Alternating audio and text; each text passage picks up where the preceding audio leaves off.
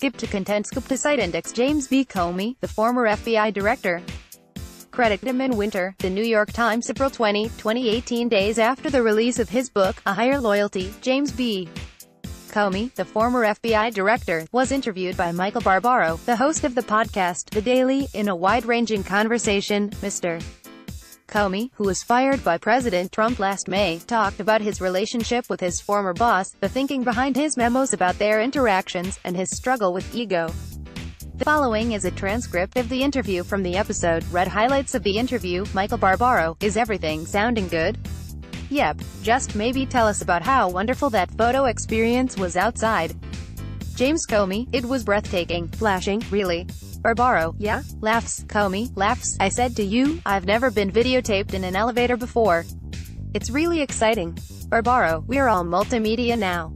Comey, yeah? Yes. Barbaro, so we're gonna jump in.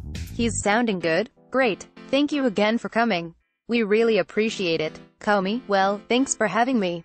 Barbaro, and welcome to The Daily and to The Times. Comey, great to be here. Barbaro, director, I want to start by reading you something that you wrote in the opening pages of your book, actually, in the author's note, right up at the top. You said, all people have flaws, and I have many.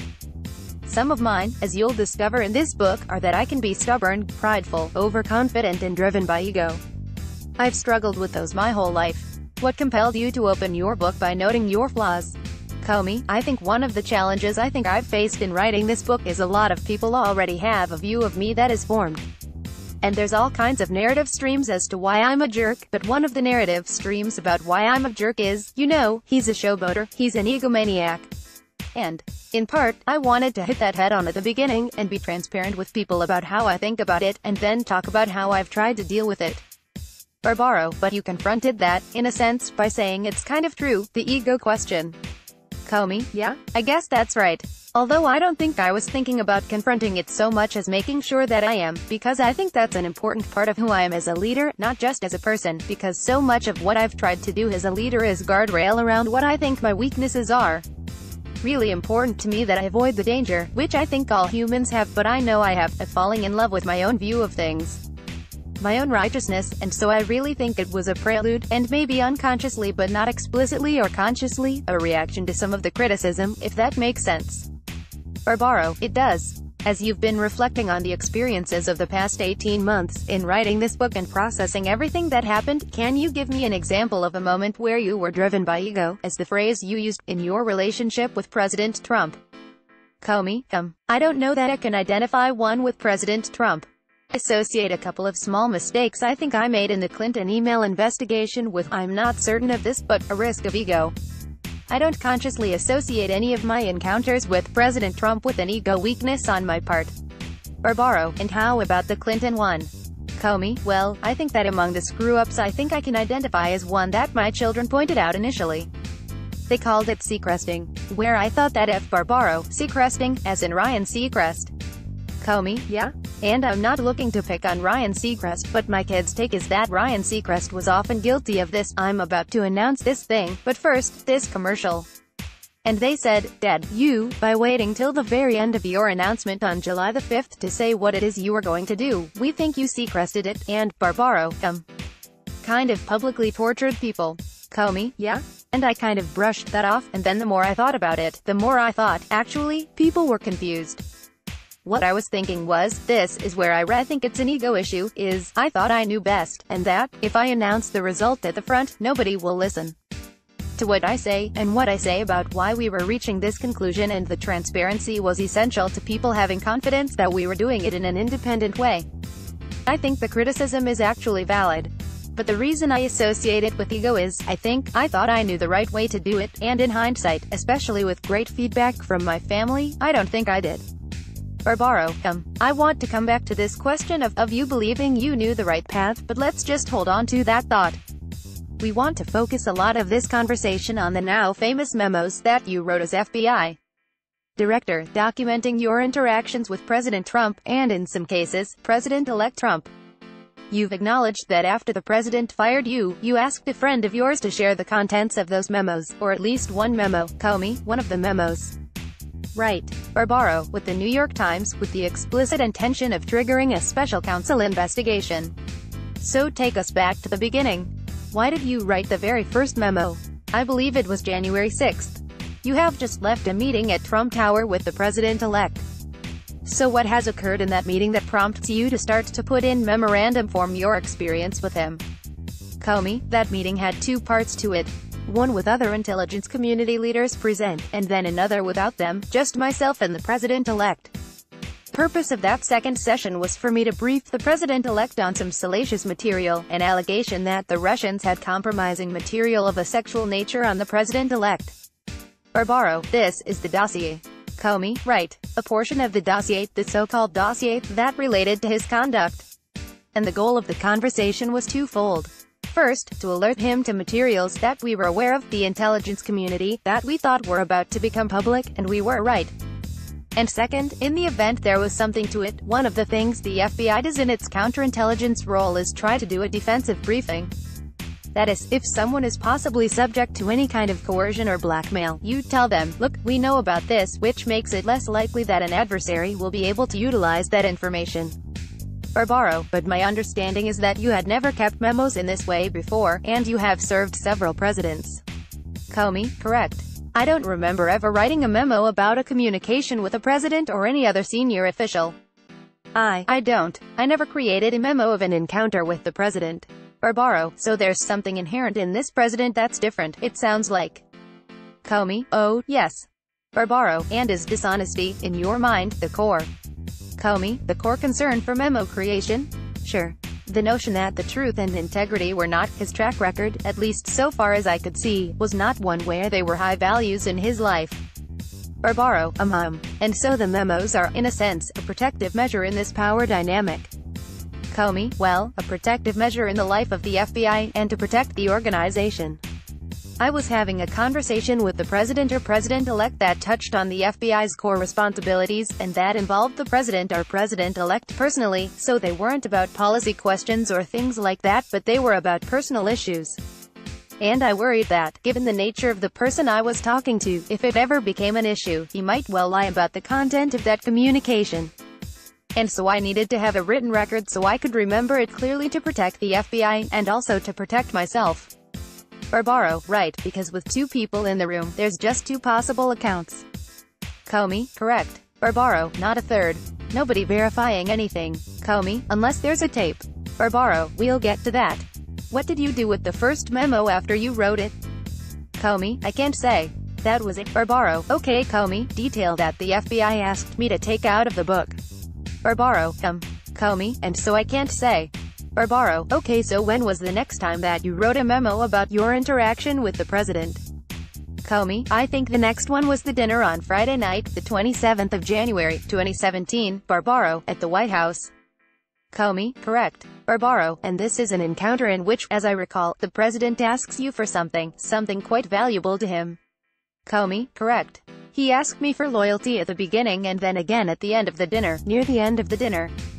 Barbaro, and so how exactly does this work? You leave the White House. I assume you get into a government SUV, Comey, uh-huh. of her. Barbaro, and how does the memo writing actually unfold? Comey, my recollection is that I did it that night as soon as I got home on my personal laptop and printed it out on my printer. Created two copies, initialed them both. These weren't on letterhead, because these were personal aide-memoires. Barbaro, so you were printing them out and signing them. Comey, correct. Initialing them. I think I just initialed and dated them, printed it out, and put a copy in my personal safe at home, and took another copy to the FBI. The next workday and had my chief of staff hold it. One stored at the FBI, one stored at my home. Barbaro, at this point, now that the president has behaved in a way that you find problematic, seriously problematic, are you starting to think about what these memos might be for a little bit differently? Not just traditional record keeping, not just an account in case it's needed. And I ask that because you're writing them in a way, as I understand it, that's unclassified, which suggests that you might have thought that someday they might, for one reason or another, become public. Comey, well, I don't think I thought about that at that point. I wrote it that way because you can't store classified information, although your personal safe is secure, it's supposed to be stored in a government safe. It's classified, and so I wanted to be sure that I was storing it appropriately. Barbaro, right, given, especially, the investigation you had just been involved in. Comey, of course, and even if there wasn't, it's something that is drilled into you when you go into the government, especially in an FBI role. And so this is about in the event it's ever needed to protect the FBI and myself. Barbaro, but are you starting to imagine a world in which the behavior you're documenting in the memos might need to be shared more broadly? Comey, I don't think so at that point. Barbaro, um um. Comey, I don't think I was contemplating that future, and my hope was that I would never need the memo. Barbaro, that it would just remain hidden. Comey, correct. Barbaro, so then the third memo, and the last one I'm going to ask you about, is about this other moment we've all heard about, February 14th, Valentine's Day. The president is in the White House. He's in the Oval Office. You're in there for a meeting. And one by one, the president asks the vice president, and then the attorney general, to leave the Oval Office, and essentially asks you once you're alone if you would consider dropping the investigation into Michael Flynn. Right. Comey, well, if you would consider, makes it sound more of a question than a direction. He said I hope we would let it go. So yes, that was February 14th, at the end of a meeting that was called for a counterterrorism briefing. Barbaro, and so you walk out of that meeting, and once again, it feels like, at this point, there's a little bit of a system and a threshold in your head. This meeting merits a memo. Comey, I think that's right. And by this point, I'd had sort of a sense of what I needed to document something, and so this one clearly needed to be documented. And I remember emailing my staff, because I was headed home. It was Valentine's Day, and one doesn't always go home on Valentine's Day, but I'm married and deeply in love with my wife, and so I needed to get home for Valentine's Day. Barbaro, right, Comey, and I remember emailing my staff that the meeting had gone fine, but now I need to write another memo. Barbaro, so your staff knows what you mean when you say, I need to write another memo. Comey, yes. Barbaro, they get it. Comey, yeah? Barbaro, in your account of that February 14th meeting in the Oval Office, in which the president asks you, says he hopes that you can let the Flynn matter go, you said in your book that you had no choice but to stay in the Oval Office alone with the president, those are the words you used, when he asked these other people in the room to leave, one by one. And I wonder why you didn't have a choice? We talked a little earlier about power dynamics, but you are, at this point, the director of the FBI, you are a profoundly distinguished lawman, you're an independent operator, and you are, by your own description, stubborn and prideful. So why do you have to stay? Why do you have no choice in the matter to be alone with the president in the Oval Office? Comey, I don't suppose there's literally no choice. I mean, I was not handcuffed to a chair. But given that I am the director of the FBI, and the President of the United States has, in essence, issued an order for the room to be cleared and me to stay, it never entered my mind to walk out. Just because of my respect for the office, the literal physical office in which I stood, and the office of the President of the United States, I, I can't imagine, many things people can second-guess, but walking out at that moment I don't think is one that could be fairly second-guessed. Barbaro, but I guess what I'm getting at is why, at this point, as FBI, Director, aren't you doing anything more meaningful about these encounters than memorializing them in a memo? If they're becoming troubling to you, as I think you're suggesting they very much are, why are you just writing these stories down and locking them away, even if there are two copies, one at the FBI, one at home, and hoping, as you said, that they never end up having to be seen?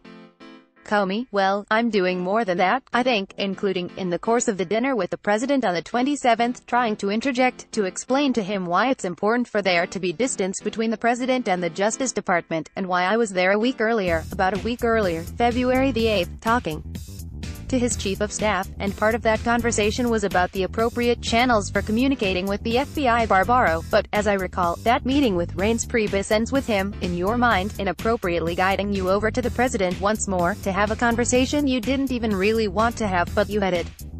Comey, yup. And then the day after the Valentine's Day conversation, I spoke to the Attorney General, my direct boss, and told him, it can't happen that you're kicked out of a room and the president meets with me. You have to be between me and the president. Barbaro, but you chose not to tell the Attorney General about what the president had asked of you, which was to drop the Flynn investigation. Comey, correct. Barbaro, that was a conscious decision not to tell.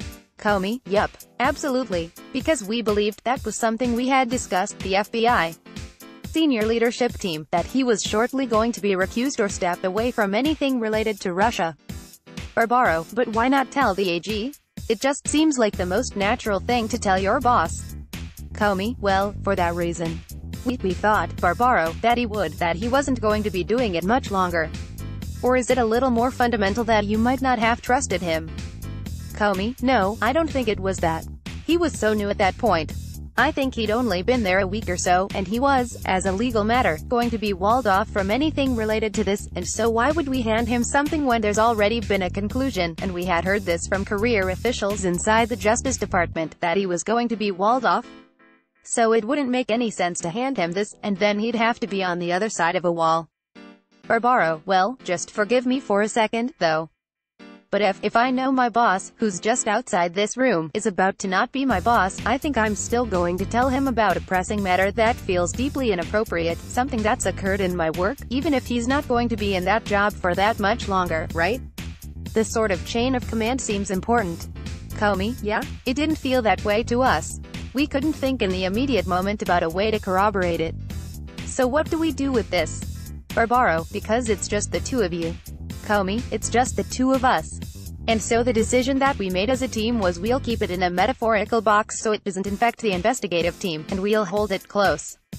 And we won't share it with the Attorney General, because he will be shortly, we think, out of anything related to Russia, and we'll figure out what to do with it down the road. Barbaro, looking back now, do you, do you think that was the right decision? Comey, I do. Barbaro, and why? Comey, for the reasons I just said. I, I don't think it would make sense to be briefing the Attorney General on a matter that directly related to the subject from which he would be shortly recused. Barbaro, okay Comey, and especially because there was nothing for him to do. The important thing, something he could do, is to understand my discomfort with being alone with the president, and the importance of staying between me and the president. Barbaro, and do you think that registered with him? Comey, I guess, registered in what sense? Barbaro, do you think that Attorney General Sessions absorbed your discomfort with being alone with the president and acted on it in such a way that it might not recur? Comey, no. The first part, yes. I think he clearly understood, and I asked my chief of staff to call his afterwards just to make sure he understood. Whether he could or would do anything to maintain that separation? I didn't see any evidence of that. Barbaro, um, So, in all, how many memos do you think that you ended up writing about your conversations with the president? Comey, I don't remember, exactly. It's somewhere between 5 and 10, Barbaro, um, Comey, yeah? I don't know, because I don't have them. But it's, it's more than 5, and it's less than 10, Barbaro, got it. And you don't have them because they have been taken from you. Comey, oh, I turned them over to the FBI, at their request. Barbaro, okay so then you are, in fact, fired by the president, Comey, so I've heard. Barbaro, though I know the chyron that you see first says resigned, which must have surprised you, because you did not resign. You were, in fact, fired in May of 2017, and at some point not long after that, we now all know, you decided you wanted these memos out in the world. What happened to finally set that decision into motion? Me, a middle of the night, which almost never happens to me, because I'm a sound sleeper, but a middle of the night lightning bolt revelation, delayed revelation. I was fired on a Tuesday. The next few days after my firing, there were articles that appeared in various newspapers, where it appeared, Barbaro, I believe The Times, in particular, had a story about Comey, yeah, I think The Times. And I don't know whether anybody else, but it appeared that, Barbaro, about the loyalty dinner. Comey, yeah, about loyalty, and it was something else too. I can't remember what it was. But that gave the president, apparently, cause to believe that I was talking to the media, which I was not. And he tweeted, on Friday after I was fired, so, three days later, and I may have this wrong, but James Comey better hope there aren't tapes before he starts leaking to the media, Barbaro, um um. Comey, and I didn't focus on that right away because I was in this place where I was trying to keep all of this out of my head. Barbaro, um um. Comey, so I don't remember thinking about it until I woke up in the middle of the night Monday night, so into early Tuesday morning. I think it was 2 o'clock in the morning. I opened my eyes in bed and thought, wait a minute, if there are tapes, there will be corroboration. It won't be my word against the president's, which was the problem we encountered to begin with. If there are tapes, he will be heard on those tapes saying what I recorded him saying in my memo. Someone's gotta go get those tapes and lying there in bed, I thought, the FBI. We'll see what I see. They probably saw it days before, I don't know. Barbaro, right. He has 50 million Twitter followers. Comey, right. but I mean not just see it, but realize the significance of it in connection with the Valentine's Day meeting particularly. And at that point, my conclusion was, I can trust the FBI to see it and to want to go get those tapes. But I honestly didn't trust the leadership of the Department of Justice to pursue it aggressively. And so I thought, something's got to be done to force them to go get the tapes from the Oval Office, and it's going to take a special prosecutor to pursue those. If I put out in the public square, the February 14th, the substance of it, it will be clear the significance of the president's tweet about tapes and it will force something that otherwise wouldn't happen. And I thought, well, I'm a private citizen now, that information is unclassified, and so I will ask a friend of mine to get it out into the media. Barbaro, right. So it was the mention of the tapes by the president in this tweet that first planted this idea that if I release these memos, I'll trigger the special counsel and will get the tapes. Comey, correct. Barbaro, okay. And do you believe that you triggered the special counsel? Comey, I don't know. I don't. Again, because I don't have any visibility into what the FBI was doing. For all I know, and I'm just making this up, the FBI had already sent a memo over saying, we believe there ought to be a special counsel appointed. That's possible, and so I may have had no role. But that's why I say I don't know. Barbaro, so do you believe that, it would have happened eventually no matter what? Comey, I don't know. You can make an argument it would be likely that it would happen regardless. But I, Barbaro, the chronology is kind of powerful. Comey, it is but Barbaro, in terms of timing. Your contribution to it. Comey, yeah, I mean, look, that's why I say I think it's possible that I was either a factor or the determining factor.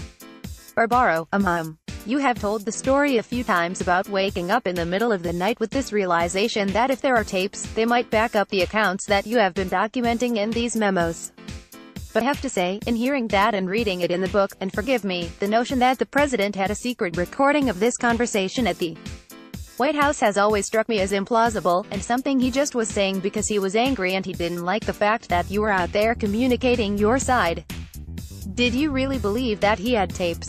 Comey, certainly not for certain.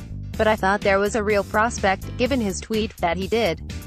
And someone needed to go find out Barbaro, but ultimately, was it more important to you that there be a special counsel investigation than that there be a way of getting the tapes? Comey, no, I don't think more important. I mean, what, what I woke up thinking about was the tapes, getting the tapes. Someone's gotta go get the tapes. Or Barbaro, um um is another possible explanation that the president had just fired you, which is a pretty traumatic experience and one that would be pretty difficult on anybody, and you knew these memos would cause him a lot of trouble, and you sincerely wanted the public to see them. Comey, no. I mean, it's possible somebody else would have thought that, and maybe that's a more noble way of thinking about it, but I wasn't thinking in terms of broader public interest or any of those things at the time Barbaro. So, your plan, again, is release the memos, get a special counsel, get the special counsel to go get tapes. Comey, I'm sorry to keep interrupting you. Memo. Barbaro, memo. Comey, a lot of people have been talking about memos. Single, unclassified memo. Or Barbaro, yep. So the plan is to, is to release a memo, get a special counsel, have the special counsel hopefully get the tapes. That plan feels pretty complicated and elaborate in terms of steps and moves and pieces. Could there have been a simpler way? Comey, come, I don't know. Maybe you want to suggest one, but that's what I thought of at 2 o'clock in the morning. Is that that would put pressure on, force the Department of Justice to do what had been talked about in the media that they were considering doing. Barbaro, right. Because you didn't trust the Department of Justice to do the right thing on its own. Comey, correct. Or Barbaro, you said perhaps there's a suggestion. The simplest solution might be just to go to the FBI or the Department of Justice and say, you should ask for those tapes. Comey, yeah, but the FBI already knows what I know, and so if I can be useful, it's in putting pressure on the Department of Justice leadership, not the FBI. But given that I lacked confidence in the leadership of the Department of Justice, going to the FBI would be telling them something they already knew. But Barbaro, but let's focus on the Department of Justice. I mean, isn't it a sign that there's something fundamentally broken when the former director of the FBI doesn't trust the Department of Justice or think it's capable of doing its job? Comey, sure. That you essentially felt you needed to work around this agency full of law enforcement officials to deal with a situation that, ideally, they would deal with on a routine basis. Comey, right. It is filled with law enforcement officials, but it's led by individual human beings. and I knew the Attorney General was recused, and given how I thought the Deputy Attorney General had handled my firing, I did not have confidence that it would be done in the right way. Barbaro, um, this is Rod Rosenstein. Comey, correct. Barbaro, that does feel like a sad state of affairs. Comey, oh, sure. There's a whole lot of lot of sad states of affairs over the last couple of years. But yeah, sure. It's regrettable. Barbaro, you write about this in your book. You say about your thinking at the time, I could leave it alone. I trust the system to work. But you decided in the end that you, as we've just established, that you didn't trust the system, and you were going to do things your own way. And that calls to mind some of the words you used to describe yourself in the book, in the author's note, overconfident, stubborn, driven by ego. What do you think? Comey, yeah, I don't think that's fair. Barbaro, okay Comey, yeah? Barbaro, why not? Comey, because I, I don't think ego, stubbornness, overconfidence played a significant role in those decisions. Those are things I always ask myself when I make decisions. But I thought I was quite logical and practical in trying to do something I thought was in the public interest, in the interest of the Justice Department. Barbaro, um. I want to ask you about this because it, it feels, and please feel free to interrupt me if you think I'm mistaken here, that we're seeing a recurring pattern a bit here, in which you lack faith in the system to work through the kind of official normal functions. And let me give you a couple of examples of where it seems you decide it's important and right to take matters into your own hands. You felt during the Clinton investigation that you could not entirely trust the Department of Justice under Loretta Lynch to handle that probe of the private email server, which prompted you to take it upon yourself to make a pretty unusual, Comey, I disagree with your, you want me to interrupt already? I disagree with your predication. You wanna keep going? Barbaro, I think so. Yes, Comey, okay keep rolling, keep rolling. Barbaro, object at the end.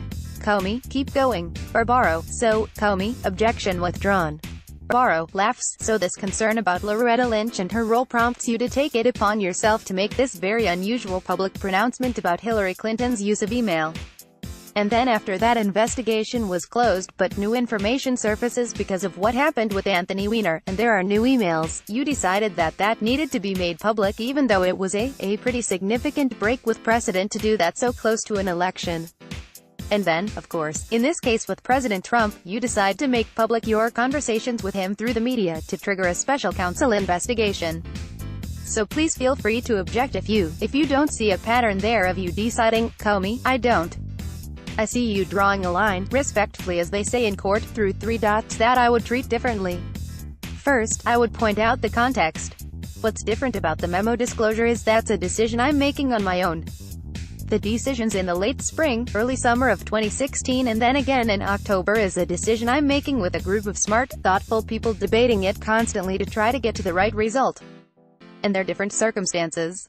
The first circumstance is not about not trusting the Department of Justice, but it's about caring deeply about how the Department of Justice, Barbaro, is perceived. Comey, exactly. And in light of circumstances that are beyond my control, finding a situation where the FBI, I and the rest of our team thinks, to protect the institutions, we have to do something unusual. Not that I don't like Loretta Lynch, not that I don't respect Loretta Lynch. But circumstances have created a situation where, if we do the normal thing, corrosive damage will happen in the life of these institutions we love. October is very different. It's not about the institutions and not being able to deal effectively with a particular leader, or, it's about, we're facing a choice. We have to